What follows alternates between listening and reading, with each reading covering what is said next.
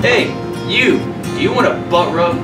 Uh, no. Well, try a new pork seasoning. Butt rub!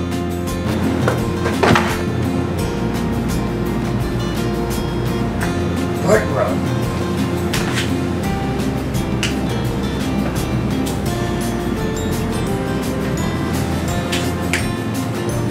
With a wonderful mixture of salt, black pepper, granulated onion, granulated garlic, paprika, chipotle pepper, sweet jalapeno, and microcrystalline cellulose, natural anti-caking agent. Contains no sugar or MSG.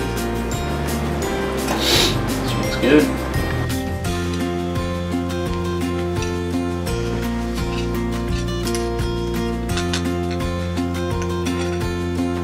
I have a piece? Remember, you gotta have a little butt rub before you pull your pork.